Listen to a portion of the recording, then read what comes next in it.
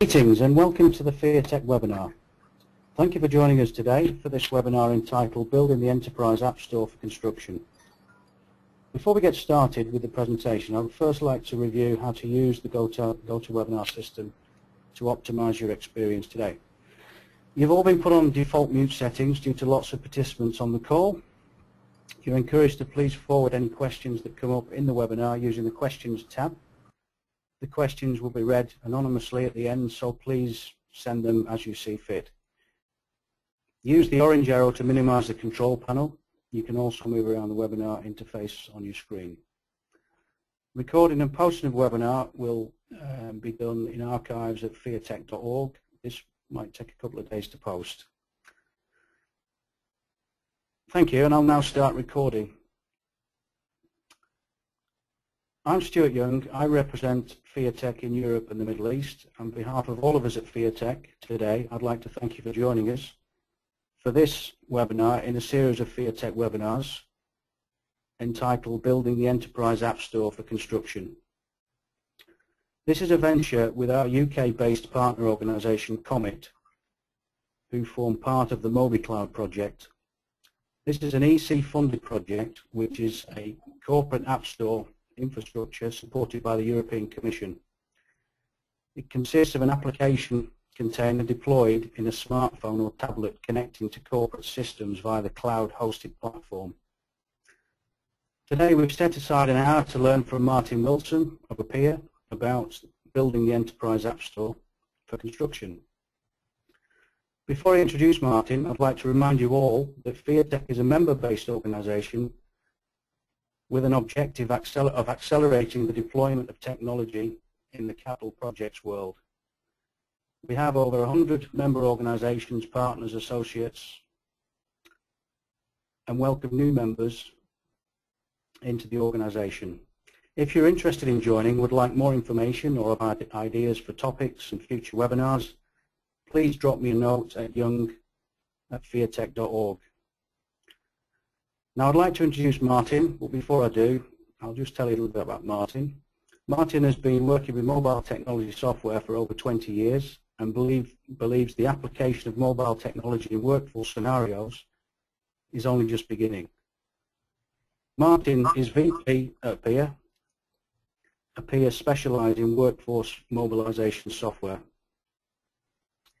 And with that, I'll pass you over to Martin. Thanks very much, Stuart. Uh, good morning, good afternoon, everybody. Um, I'd just like to say a little bit about our uh, the MobiCloud project before we get started and, and, tell you a little bit about that, and then we'll get into the uh, a little bit about the, the, the technology that we are um, we're working with, and then a little bit about uh, a project that we're doing together with Costain um, and an application called Site Diary. And at the end, I'll be able to give you a demonstration of Site Diary. And um, if you any of you guys are interested, we are, we're also looking for companies that are interested in uh, testing it out. So a little bit about the MobiCloud project. MobiCloud is a, a European part-funded project or co-funded project. And what that means is for every euro that uh, we as companies in this group spend, uh, the European Union provides a, a, matching euro uh, to, the, to the total of 2.2 million euros over the next two years. We're already into our first of the two years of this project. The companies involved in the project is Appear, that's the company that I'm from, as Stuart just mentioned. There's a number of other companies. There's COMIT in the UK, who have also just been introduced. There's Costain, which some of you may know. They're a very large um, civil engineering organisation and a couple of companies you might be less familiar with. There's Metropolis in Germany who are working on a project with the rail uh, infrastructure there, and Esperanto XL, who is a, a system integrator mobile software developer based in the Netherlands. One of the reasons why the European Union is interested in developing this technology and this project is that they'd like to see uh, greater adoption of this kind of uh, mobile technology in the, in the industrial space. And I'll come on to that in a little bit. But first, let's take a, a, trip down memory lane in terms of enterprise mobility for those of you that have been using this technology for a number of years, there's a number of different um, uh, generations of, of tech. The first, of course, that most of us are familiar with is GSM, um, and then data on the GSM uh, platform appeared and Wi-Fi technologies appeared. And we have seen Appear, the company I'm with uh, founded in 2001 and we've been working with rugged devices for the past few years. In the last uh, two or three years we've, we've seen together with everybody else the emergence of uh, smartphones and tablets. And initially this was seen very much as a, as a consumer-led revolution but now it's it's become very obvious that the, the, the, economies of scale have kicked in and what you would spend maybe $1,500 on a rugged device, you could buy three or even four, maybe even five uh, smartphone devices using Android or, or Windows or, um, or iOS. So we're very much at that point now and over the next few years we're going to see many, many more types of uh, mobile technology that can interact with this coming on board and, and the example here is of course Google Glass. So there's a lot of changes going on and it's not just about the mobile devices. There is uh, a great um, interest now in, in, business in general adopting um, tablets and enabling their workforce to use this kind of technology.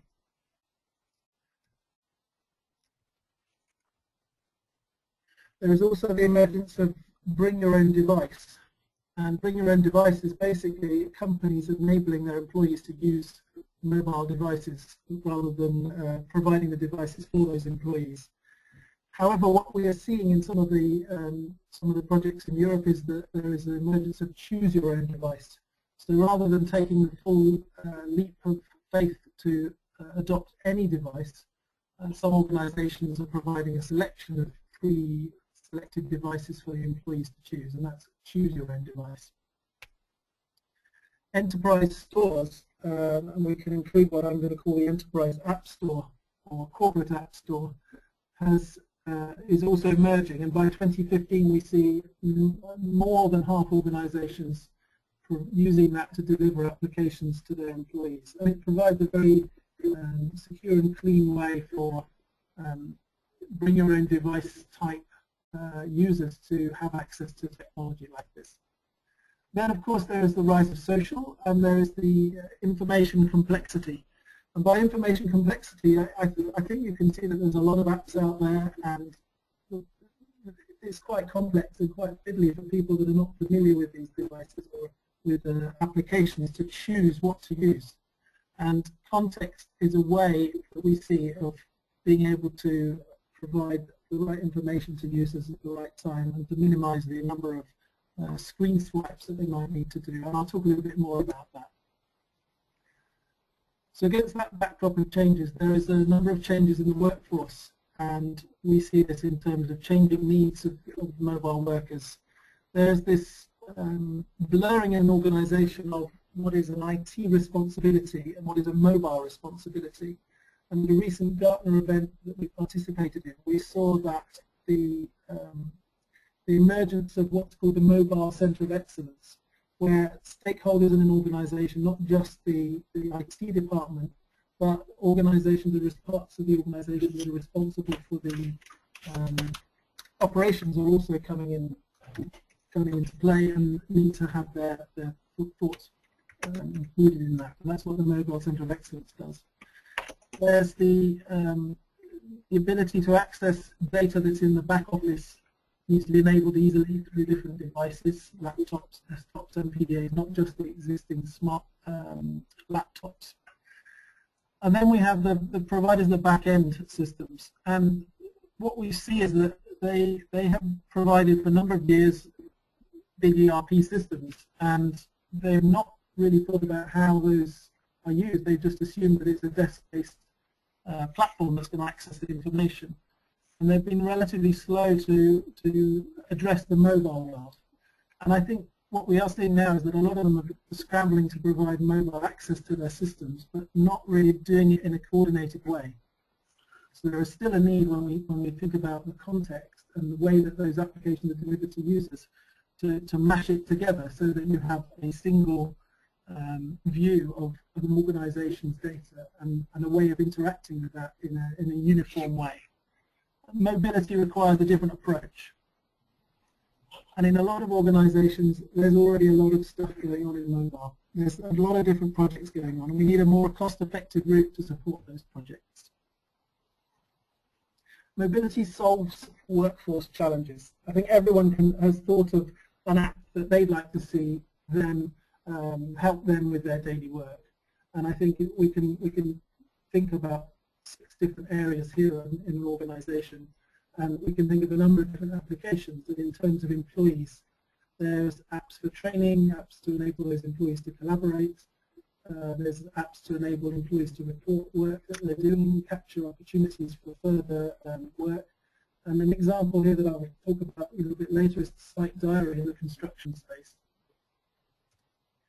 In terms of delivering projects, I think it's very important to have accurate records and to enable records to be taken simply. And in a lot of construction organizations, paper is still the primary medium for collecting information and for reporting on that information. And clearly that's a huge opportunity for uh, revolutionizing or optimizing the, the, the, way that projects, construction projects in particular are run. There's also the environment, there's also the value in terms of the infrastructure costs and in the mobile cloud project, we're not just looking at the apps themselves, but in terms of the infrastructure, uh, using technologies like the cloud to uh, minimize or even eliminate the capital costs in terms of um, supporting these projects and, and, making it much more into an OPEX cost. And that's one of the key things that cloud provides. I think there's a lot of applications in the safety space as well to enable colleagues to communicate, to uh, protect lone workers, to be able to uh, instigate emergency procedures when something goes wrong, and to also ensure that workers with the right permits and policies are, are supported uh, with their devices. And you can imagine contractors showing up for work and they're presented with a, an app that takes them through um, the site policy, but also ensures that they, as an individual, have the right policies uh, and the right permits In this area of reliability and dependability, we need to make it easier to collect information. To be able to report defects, for example, is another key requirement in, in a construction space. And let's not forget the customer, the, the end client who's, um, who we're doing all this work for. There is a number of opportunities to create applications for those customers, for third-party service providers to deliver information uh, to dash, uh, provide dashboards for, for, customers to see how their project is being run and how their um, uh, KPIs are being met. So against that backdrop, we see what we're calling the Construction App Store. And this is a set of applications that is specific to a, a construction organization that captures different applications, site procedures, different project processes, um, applications for incident management, and some of the other examples that I just talked about. we have, um, in, in order to deliver this, this corporate app store or this construction app store, there are um, a number of stakeholders. And each of those stakeholders have specific needs that need to be addressed in terms of how do you deploy those applications, how do you train the, the workers to use them, uh, what kind of views do the management require of, of the data that's being generated by all of these, these mobile users, uh, maybe the IT department wants to troubleshoot the, the data that's there and, and, and generate analytics that can be shared across the board. Um, and also use that information to refine and improve the applications and to deliver those new applications into the, into the App Store. So in order to provide that, this is another area where there is a need for a platform to co coordinate that. So to deliver on, on, on all those things, to deliver this corporate app store, there's a need for an infrastructure. And there's two layers within that. There's the technology layer, the platform, the, the SDKs, the applications, and the processes, and the processes that need to change to support that infrastructure. I'll start with the technology. By the way, the example here is a, an image of a, a, a, phone with a set of apps on it, and those apps will appear depending on what the profile of that worker is and wh where they happen to be and what, what project that they're working on. And the apps will change, perhaps even during their working day, based on based on their needs. And that's um, that's the worker view, and then the App Store is where the, the full set of applications is managed and provided.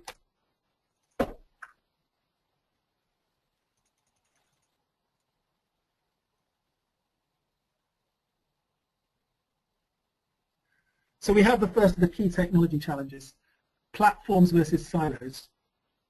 And what we mean by silos, I mentioned a little bit a while ago about the ERP vendors and the different um, uh, mobile platforms that they provide.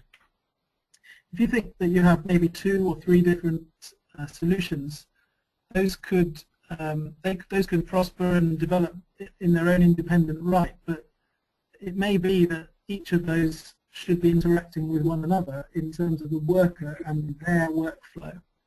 And in order to blend that successfully, it's, it's, it makes sense to try to pull that together in some way and, and, and provide information and, and, and um, uh, to blend that information together.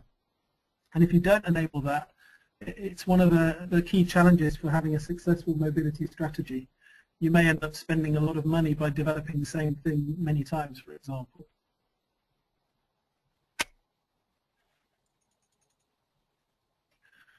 Second area is providing a, um, access to that to application developers, and, and that is provided through the use of a, an SDK.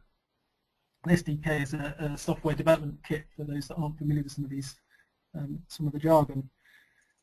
Around about half of an application's code is actually not related to the client device, to the device that you, you hold in your hand, but actually to the software in the back end. And th there are some challenges there. If, if you develop that once, you may want to be able to reuse it. But it also needs to support the back-end configuration and any upgrades that take place to that back-end. And if the back-end vendor makes changes without letting you know, then all of those investments you've made in a number of different um, mobile solutions that use it um, are going to have to change too. And the, the, first thing you know about it is when that backend vendor has, has made their software upgrade. So it's very important to be able to make use of information about upgrades and include that in the SDK and also to make sure that changes to the backend are not affecting the front end. Another challenge is in terms of um, being able to reuse the existing code base. There is already an app for everything in public app stores. This is a mantra that you will hear a lot, one of Apple's favorite um, advertising phrases. But in reality, for, for enterprise, there really isn't. Uh, I think one of the challenges is taking the best of the apps that are out there on the App Store and integrating them into your environment so that they fit your work processes there is a trade-off to be had between the two, but, but, don't try to reinvent the wheel every time a new business request comes along and spend six months building a new app from scratch. What we see is the, to try and adopt the best of both worlds, to have ready-made templates that you can customize as new application um, usage scenarios come along. To support all of this technology, you need to have a process to, to keep pace with it. And we in Appear we, we, we call this agile and I think everyone else is, is um, well aware that when you do mobile applications there's two ways of doing it. One is you gather all the requirements, you nail down those requirements and you agree a contract and you develop it and then you deliver it and then the end user finally gets to hold it on day one of go live and they say hang on a minute this bit doesn't work and shouldn't this bit be over there and oh my thumb hurts from doing this too much and it's at that point you realize you've got to go back and change it. That's really not the way to do mobile. And the way to do mobile is to involve the end user right at the beginning. We call that the user. And, and often it's, and what we're seeing in, in the project with Costain is that the end user is the guy that's got the requirements. He's the one with the vision about how mobile is going to uh, change his, his working day for the better. And we're working with that guy in terms of how those applications are developed because he's the guy that's going to use it at the end. And we're also able to pro provide a number of steps where um, some of the application can be used and tested, there can be some changes made and, and so on and so forth. And we call that agile. But the, the whole process in your company may not be set up for that. Um, although construction is increasingly delivering the construction projects themselves in an agile way, th this is perhaps something that is more familiar to you than, than, than perhaps we think. So in the MobiCloud project, we have an ecosystem of partners. And I mentioned the companies, the founding companies of the MobiCloud project. We're looking for other companies to join us to work in this infrastructure and to help us to build the corporate app store for construction. But to give you some examples of who those kind of groups are, there's the end users, the companies that are going to be benefiting the most from those applications. An example here is Costain. We'll talk more about Costain. I have some slides from them in a little bit. The second is the, the companies that are providing software that help your construction business in some way or another. It could be an ERP vendor, it could be a, a platform that has some kind of business process. And those independent software vendors, up until now, are not familiar with mobile. And maybe they don't have the, the time or the focus or the investment to make to, to give you the great mobile experience that's, that's needed. But by providing the, the templates and a number of um, simple ways of developing the applications, they can actually uh, mobilize their, their products and provide uh, through the MobiCloud platform uh, mobility to their customers. Nitropolis is a company in Germany who is delivering a bunch of um, software in the rail industry and they are implementing a use case right now with, um, with the MobiCloud platform for, for their German customers. Then we have application developers and there's two bunch, there's two primary groups. There are the groups that are developing what we call native applications. And by native, I mean if, if you want to develop an app for an Apple device, then you, you go to the Apple uh, software and you develop using Apple's software instructions, the Apple SDK. If you want to develop for an Android device, you have to use Androids. And if you want to develop for Windows, you need to use Windows. But if you want to support software for your workforce, in a bring your own device context, and we're talking about contractors here as well as employees, then those apps should be cross-platform. They should run on all of their devices, whether they're Windows or iOS or Android. And if you're going to build apps for that market, you can either do it three times for Windows and Android and, and iOS, or you can do it once using a cross-platform technology. And MobiCloud provides this cross-platform technology in the form of HTML5, and I, will mention that a little bit more later. We also have the system integrators. And in terms of modeling complex workflow processes and capturing requirements and making sure that back-end systems are also included into that, they, they play a very important role. And then finally we have the, the software as a service providers and, and, I'm using our example of Appear in this because we're part of the MobiCloud project and our technology is the basis for the MobiCloud platform. We provide the, the management infra infrastructure and the, the technology that sits, sits in MobiCloud that, that is used by those other partners in the, in the infrastructure. In a nutshell, MobiCloud is about connecting back-end systems to field service employees and bringing mobility that, that takes advantage of all the information that organizations have in their in their infrastructure and also information that's out there in, in the public domain. Perhaps in the rail context we're talking about live timetables for example and in the construction context we're already integrating weather uh, into the site diary application to take advantage of uh, or to avoid having to fill in that information when, when reporting on conditions on a site. Within that project, we have three C's, and these are the three C's of MobiCloud. We're talking about context to build smarter applications. We're talking about cloud to make those um, applications less expensive to deliver and, and in a project-led industry that's very important.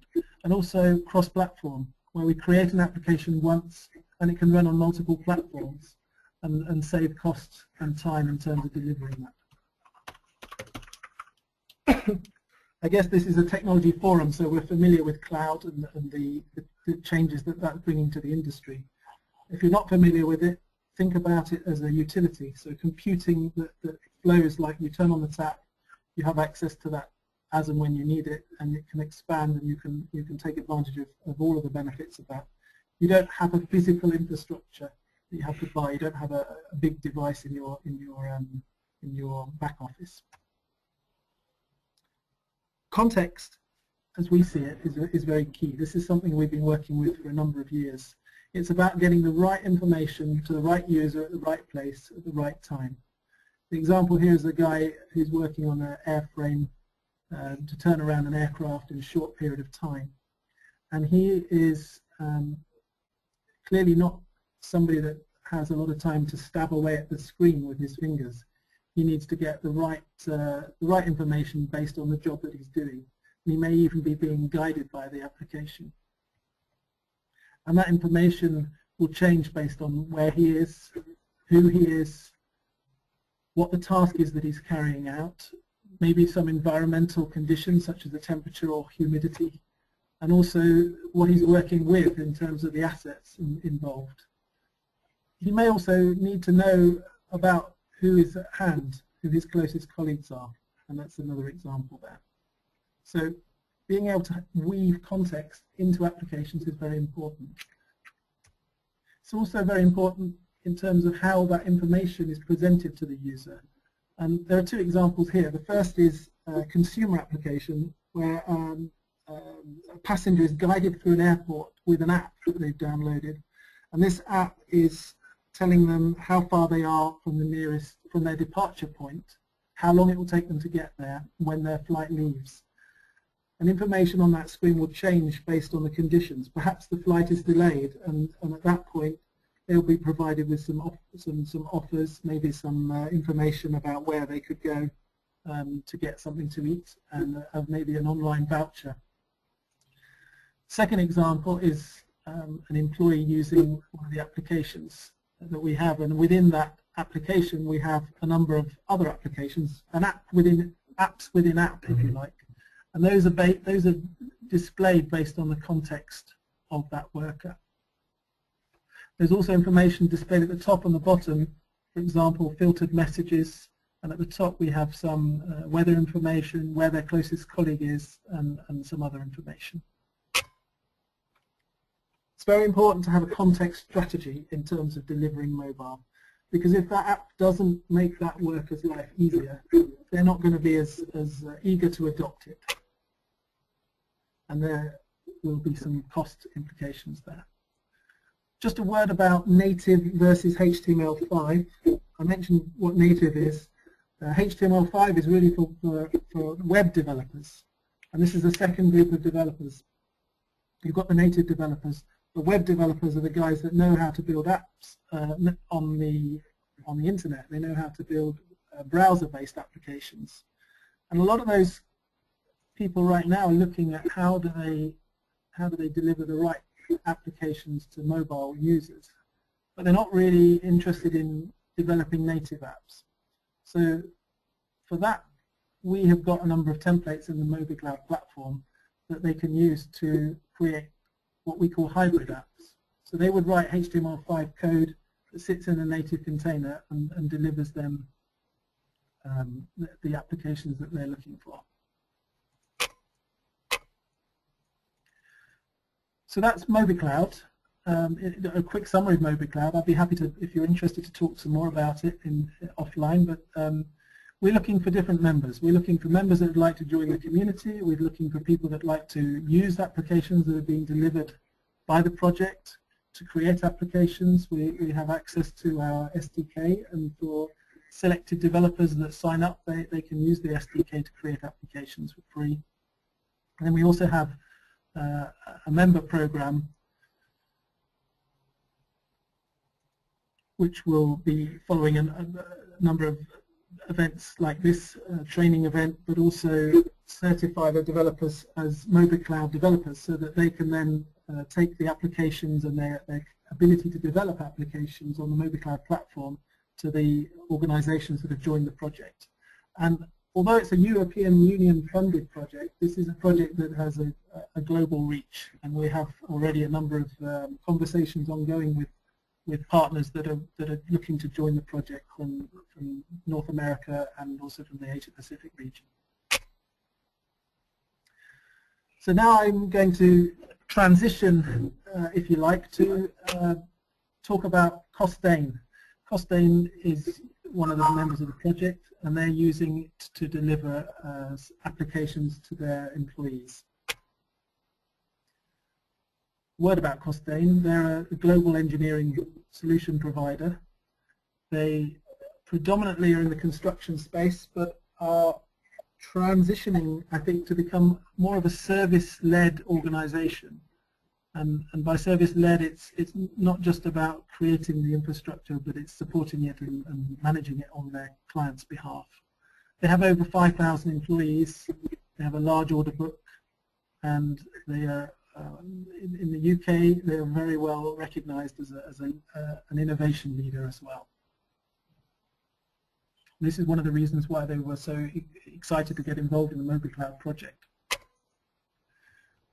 The kind of projects that Costain deliver, they, they are uh, working with um, EDF in the nuclear space.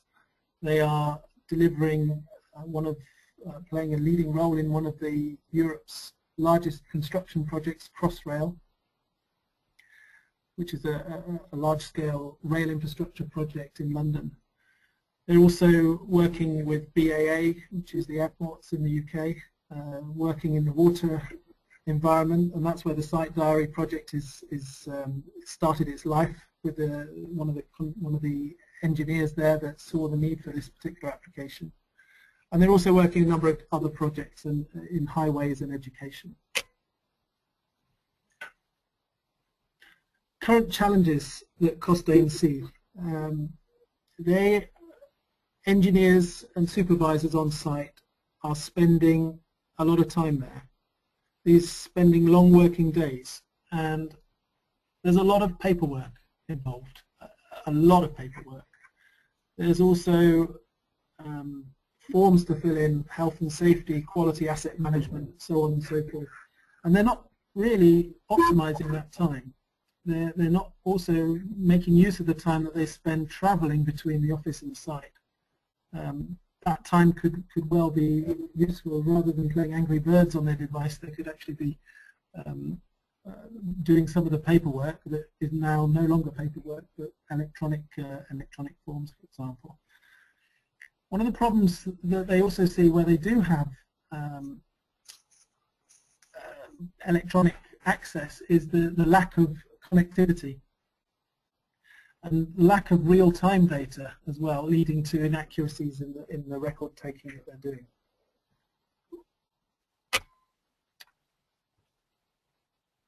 So part of the MobiCloud project for Costain is about developing a series of user cases to help drive those efficiencies and, and take those paper processes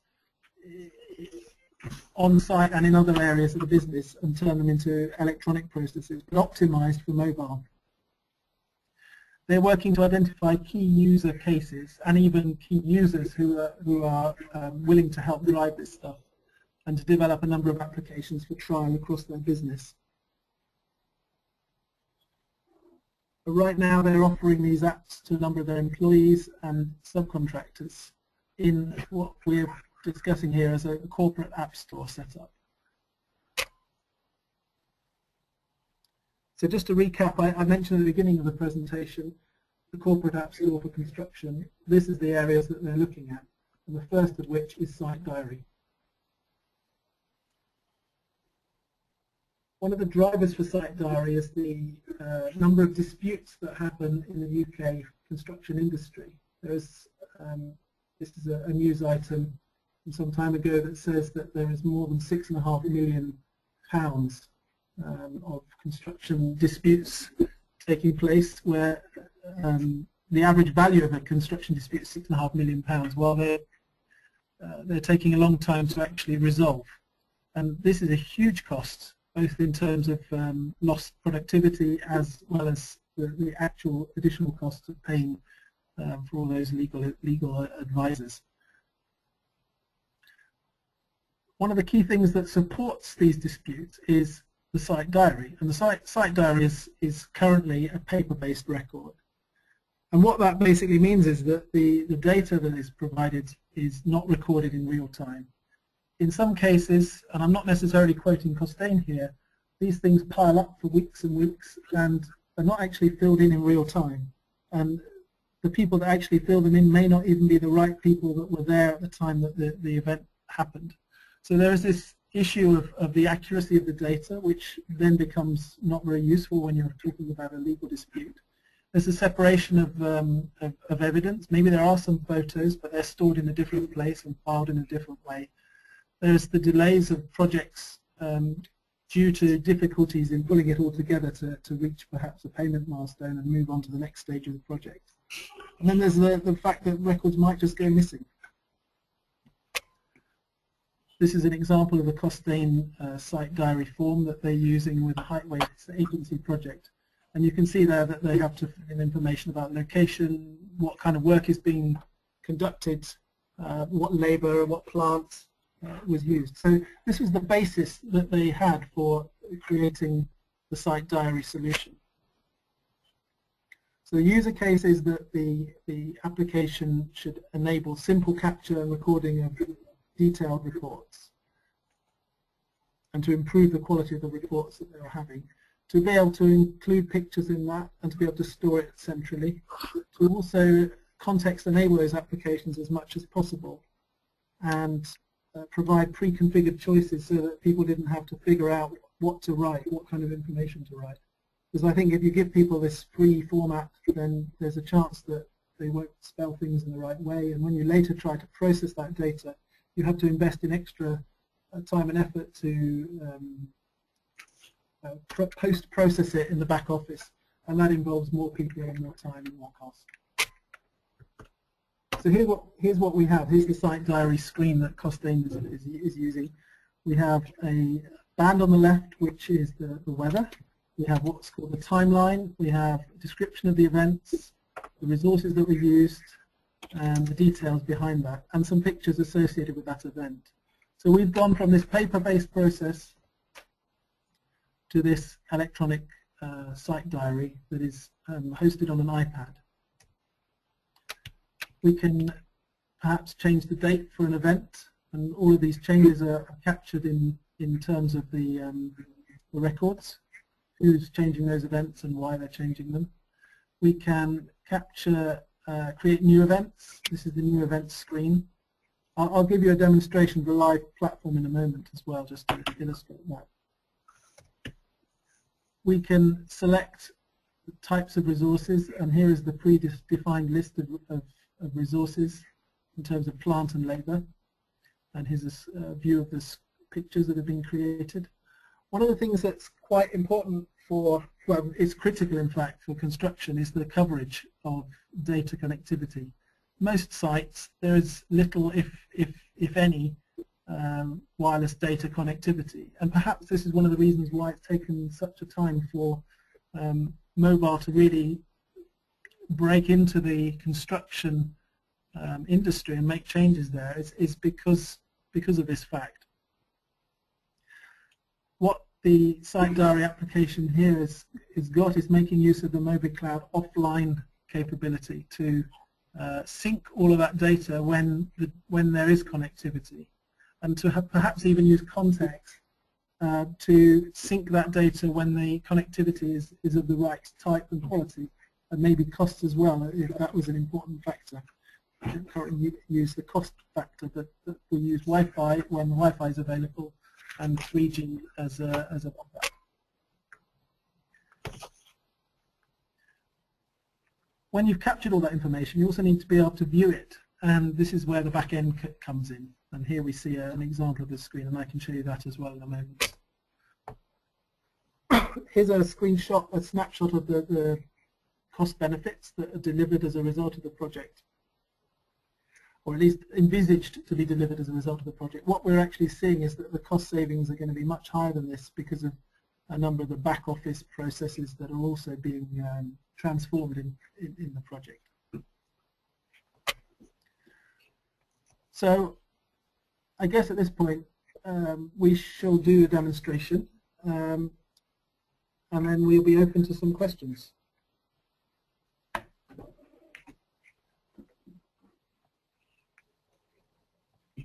So I'm going to be using a, have got an iPad in front of me here, um, which you cannot see, but what I've done is I've switched on mirroring, and mirroring uh, is basically a, a, software thing you can download onto your laptop that shows what you see on your iPad screen. So this is this is the screen of my iPad. I've got um, a number of different icons. This is all the usual screen that you'd see. And across the top here I have different um, icons. This is our showroom, which is a showcase of a number of different applications that we have in, in the MobiCloud project. We have a development um, icon here for developers to test out applications that they've created. Here's a, the Costain e-toolkit, but I'm going to click on this one, the Site Manager, because this is the, the um, the site diary tool that we're going to be demonstrating and is available for piloting at the moment. So here's the, the access screen for site diary. We have here um, one event that's been created. I can click on the calendar button down here at the bottom left and that shows days where uh, events have been reported have got a little dot on them, days where there's no events reported have no dots. So let's go to yesterday, 28th we can see there's a number of different events that have happened. Um, 9 a.m. there was uh, new machinery arriving, and it was it was actually hailing at that point. Um, this is weather that's collected from um, based on the, the location of the, the device. So if you're reporting um, and it's raining, then that data is captured and included in the record. And you can also see how the weather changed throughout the day, and you can see if that affects the events as they were as they were captured. So there's the picture. Uh, we have a um, screenshot of the picture, and if I click on it, I can actually see a full-size version of that. If I'm not online and I want to view other events that other people have, have, have had, I will still get the picture, but it'll only be a thumbnail. And, and that's an optimization that we use to try to reduce the bandwidth that's consumed. Uh, you can see there the resources that are included. So what, I, what I'm going to do is I'm going to show you the back end screen, which is the screen that the uh, management would use to interrogate events, add new users on the system. We have two aspects to this. We have the administration to manage core data. And here we can add contractors. We can create different labor types. We can create different plant types and we can look at some of the details of, of um, incidents. So let's add a contractor. Um, we've got Jones, we've got Smiths, who else have we got? Let's call them Wilsons because that's uh, that's me. And um, what are Wilsons doing? They're providing some plumbing work. So we have that information, we can edit the information, we have Wilson's plumbing. So now if I go back into my into my application and I'm going to add an event, I can choose the contractor and there's Wilson's plumbing. I can um, I can create the title of the event. Um, plumbing work complete and the location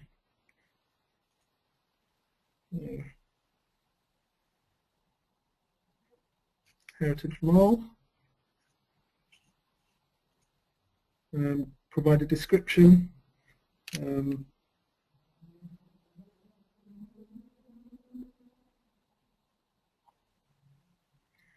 and what kind of resources did I have. So I need to add um, what kind of resources. I have one labourer and I have some other, or two others, three others. So um, I'm going to save that and I'll click on category completion. And then just to prove that I've actually done the work, I'm going to take a picture. And here's you're going to see the I'm covering it up with my finger. Let's take a picture of our plumbing work being completed. I'll choose I'm going to use that.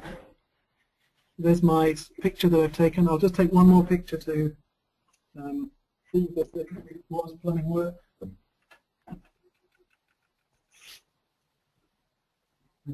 Some of our plumbing here at the Appear headquarters in Stockholm.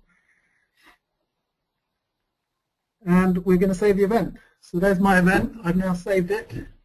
It's captured the time that the event took place. And um, I think at that point I will go into the management platform just to see that that's been captured.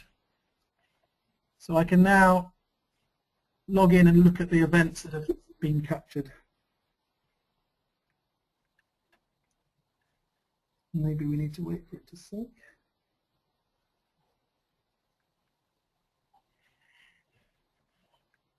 Ah, I've got the date range.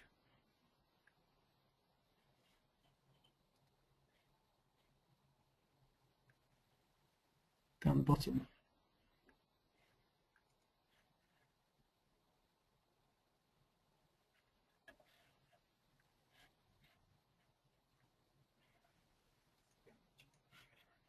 Contractor, Wilson Plumbing.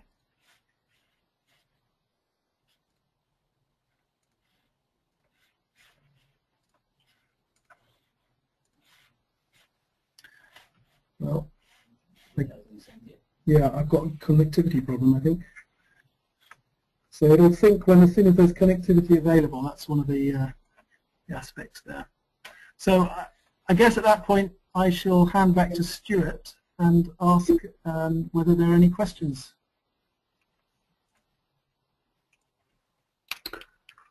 Hi Martin, thank you very much. There are some questions. Um, we have uh, come to the conclusion of our hour. Uh, thanks for all. Th thanks for spending it with us. Um, a recording has been made uh, of the webinar. It will it will be available on the archives within the next few days. Um, thanks again to Martin for sharing uh, sharing the webinar with us. I hope you'll be able to join us again in the future. Uh, but before we close out, I'd just like to read the questions. Just bear with me a second. We haven't got many questions. First question was on the uh, voice quality, but uh, that seemed to go away. Um, first question is this. Um, I agree that involvement of end users is necessary since the beginning of development to ensure that apps are creating value for their jobs.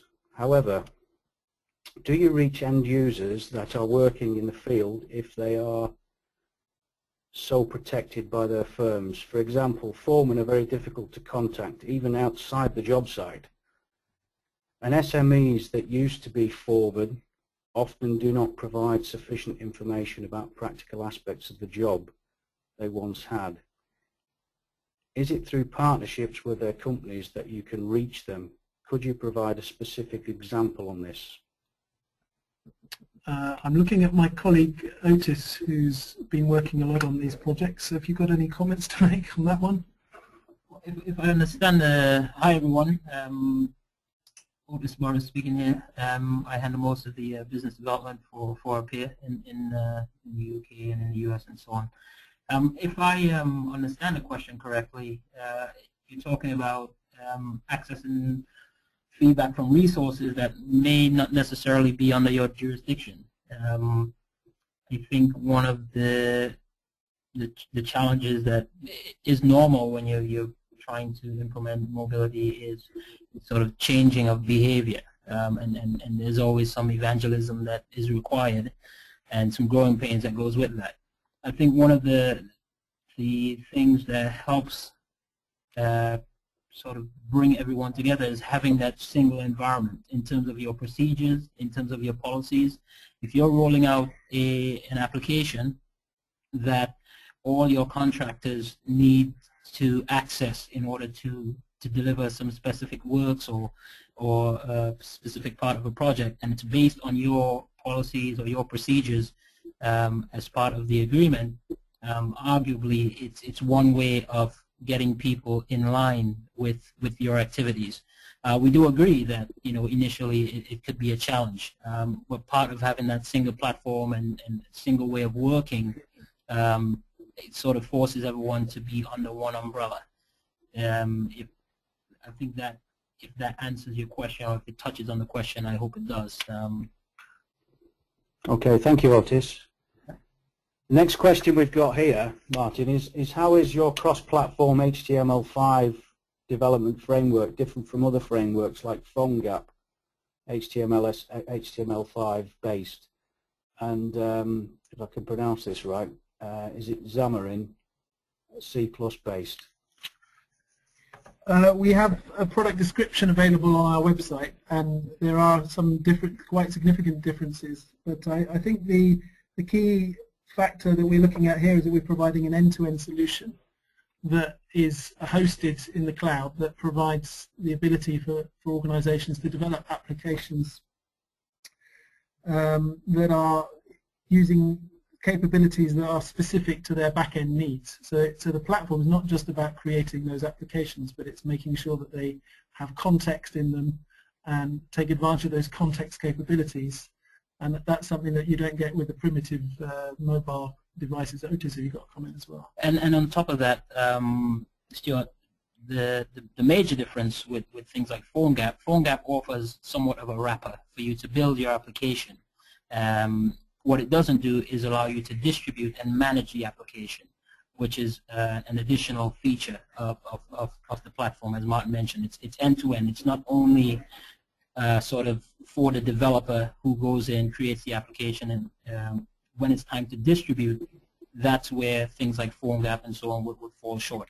I think there was a mention of a second um, a second technology, C, C++, if I'm not mistaken, um, which uh, applies more to native uh, developers. Um, our platform is designed to support native uh, development uh, applications. So what we have as an infrastructure is meant to support the development of an application, whether it be HTML5, whether it be a native uh, application, but also to, to go beyond uh, what folks like PhoneGap will do, which is just the, the actual environment to build, is also the environment to distribute and the environment to manage after distribution, add users, you know, um, monitor devices, different things like that. You, you wouldn't be able to do that with PhoneGap, but you'd be able to build your app and, and, and admire it. Okay. Great. Thank, thank you for that.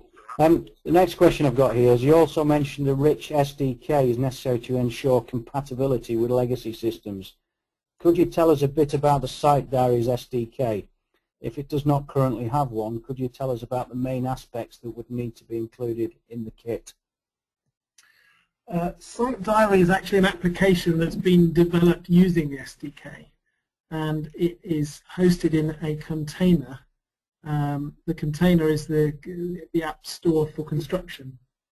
So um, the application itself is, um, is, is one example, but if you're going to create other applications that sit alongside that, that site diary in that kind of electronic toolkit of applications, if you like, then they would need to take advantage of the infrastructure that you have in the back end. And that will differ depending on the back end systems that you have and what organization um, that, that you're dealing with. So um, as more of those back ends are developed, they will be available for use in other applications you, through the SDK. And if, if you have specific back-end systems that are already in your in your infrastructure, your legacy infrastructure, then you can create using the SDK itself um, connectors that connect to that back end and then make use of those in different applications. Okay, thank you. Um, the next question I've got here, is Costain making use of the site diary system at present? Yes. Yes. Um, Otis, do you want to say anything about that? Yeah, so uh, at the moment we are trialing the site diary application on, on a particular site. Uh, the goal is to start expanding to the other sites in terms of uh, multiple site support and so on. So it's uh, it's sort of organically growing as as we add additional features um, for what Costain uh, also needs. Um, Okay. we, we anticipate that that will continue to grow throughout 2014. Okay, and and the the, the next question is is the diary. Um, it it follows existing processes. Whilst it's refined a process, it follows Costain's existing process. Is that is that correct?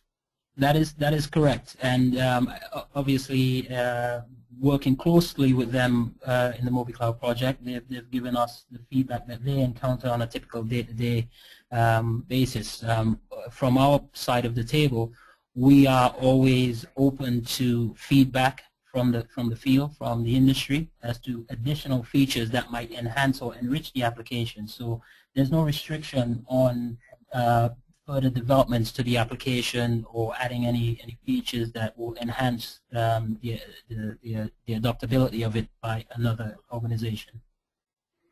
Okay. Um, the next question I've got here is um, can you uh, indicate, can you highlight the bring your own device support for subcontractors? How does that work? The the application is the the application is actually on the um, on the App Store, the the container. So Right. if a new contractor is is due to join a project, what they would do is download the container from the App Store, and then they would be given um, access to that suite of applications that match their profile uh, by the organization that is um, providing the container, if you like. So if, you, if it's Costain and you're going to go and work at Costain for a, for a pro project, you download the container, but you can't do anything with it unless Costain give you access to their, their system, and that would normally be pro by providing you with a password and, and, and login. Similar to Okay. adding a, a, a resource on, on the back end. So we just add, Okay. add a new contractor, provide him with some credentials, and whenever he logs in, he would see the, A, the projects that are assigned to him as well as the applications within that project. So he wouldn't have access to everything, only the things that, that would be relevant. Okay, th thanks guys. Um, the next question I've got here is what's the cost associated with developing solutions as a software developer for the MobiCloud ecosystem? So in terms of development, what uh, what we mentioned earlier is, as having access to the SDKs, which is a software you know development kit, the, the access to that is, is free of charge. You know, if developers would like to review the SDKs, um, they're Java-based SDKs, so they're, they're, they're targeted pretty much to web web developers. That is something they can uh, you know have exposure to and evaluate and try to build some applications themselves. Um, in terms of commercializing application, that all depends on the market and, and what um, customers value uh, are assigned to these applications. So uh, it's, it's, it's, there's no charge to access the environment uh, if you want to build applications. It's when you have live paying users that, that the, the commercials kick in. Okay. Next question I've got here is how, do, how does a user know if their updates have been uploaded to the server?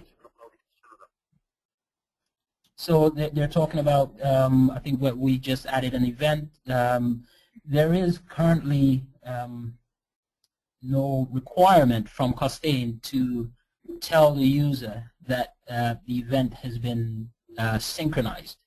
Um, it's it's what we call um, you could you could refer to it as a trivial feature. Um, it, we could add it. All it all it would do is uh, send a pop-up saying you know your message has been been delivered. Um, at the moment, what the device does is connect with the backend system and synchronize events uh, without any uh, further interaction from the user. Um, that way, folks don't have to continue going back to check if things have been synchronized or not. Once you've sent it, it goes. It's the device and the platform's responsibility to deliver it. Um, Okay. and obviously that could be um, cross-checked in the back-end system. But like I said, it's a feature that can be included if someone wants to receive a pop-up. Okay, thank you. I've got two questions here. I, I- I think they're one and the same. Um, where can the SDK be downloaded? Or where can I find the SDK documentation? I think you probably answered that already, but uh, just run over that again, if you wouldn't mind. Yeah, no, no problem. Um, so our SDKs at the moment are not publicly available. Um, if someone is interested, um, just uh, I guess through the nature of the MobiCloud project and Yeah. how we are developing the features, we will provide credentials to anyone that wants to access the SDKs. Um, you could envision that um, maybe Q2 next year or maybe end of Q1, we may decide to make it publicly available. Um, there's no, no need for us to do it yet, um, but we can certainly make it available to whoever needs it. Great, thank you for that. By email. It's, it's, a, it's basically sending a link with, with, with credentials for them to log in and access. Great, okay. Um, I've got a, I've got one more question mark here, um, and it and it, it starts off with uh, .NET cross-platform. Um, I don't know if you want to say anything on that, but um, yeah, so, well, .NET, um, as I mentioned before, with the SDKs are, are, are based on on Java. .NET it would be uh, a development strategy that would be a little bit different in terms of building an integration adapter that speaks with our platform. But there's no reason why uh, a .NET developer couldn't build an integration adapter that sits in his own environment but speaks to our platform. Um, that is being done currently with one of our application, um, I would call them application partners. They would be building an application for one of our customers on the, in the environment, but they have a .NET team, and so that's the skill set they would utilize and um, build the integration adapter towards uh, the proficiency that they have, but it will still be able to speak to the to our platform. The what what we've done with our SDKs is making uh, the integration adapter development quickly and easily uh, doable for folks that come from a Java background that build web applications. So if, if you're a Java developer, um, building a, an integration adapter it would be you know uh, a little bit faster than someone doing it in .NET because they would have to do some tweaking um, on their own. So uh, it's not major, but you know that would be the approach. Okay, thank you, Otis. Um, one question here is, uh, can Otis identify his uh, his last name and um, and title for clarity? Absolutely. So I, I will uh, speak slowly as well. Um, it's Otis Boris, and my role here is uh, business development for Appear. And okay. as I mentioned before, I, I, handle a lot of the activity outside of the Nordics because we're based in Sweden. Um, so every, obviously everything in the UK, and and also my Swedish is horrible, so they don't want me to speak with anyone in Swedish. Um, but uh, I will uh, interact with you know other other countries across Europe and also in the US. Great, thank you for that. One one final question before we close out. There's no more come through, but um, the, the, the involvement with with COMIT and uh, and, and Costain. Um, when, when, did that start, and and, and how many um, how, how, many parts of the, each organisation are involved? Well, uh, in terms of the relationship with COMIT, um, that I would say is more than a year old. Um, that was something when I uh, when I first started working with with uh, the UK. I came across the organization and I, I reached out to the group um, Neil and, and, and, and, and the guys and, and that's you know with their goal of promoting mobility uh, IT in, in construction, there's an obvious synergy there because we were all about mobilizing systems. So um, from that aspect, um, you could you could say we, we engaged about a year and a half ago. Um, and, and then coming out of that uh, relationship and that activity, um, Appear as, as a company does do a lot of research uh, with regards to mobility, a lot of uh, European projects, um, which our, our, CEO was uh, obviously heavily, heavily involved in, in generating the MobiCloud opportunity you know, through through the European Commission, and and we saw a great uh, opportunity there to align what we're trying to deliver in terms of our platform with uh, partners and or clients uh, in the industries that we we typically work in. So obviously, I was travel and transport with the rail guys, and then in construction folks like COMIT and Costain. So Great. I hope that answers the question. Thank you very much for that, Otis. Well. I don't think there's any more questions now. Um, we, we, we, are just over the hour. Um, I, I, say thank you again to everybody. Thanks to Martin and thanks to Otis um, for, for Martin for delivering the presentation, Otis for supporting and answering the questions. Um, I, I hope you'll be able to join us in future for, for um, further FIATech Tuesday webinars. Um, please contact FIATech if you'd like to do or have um, an idea for the future uh, webinar sessions um, to hopefully advance capital projects and, um, and the develop of, development of innovation in the industry. Have a great day. Thank you. Thank you. Thank you.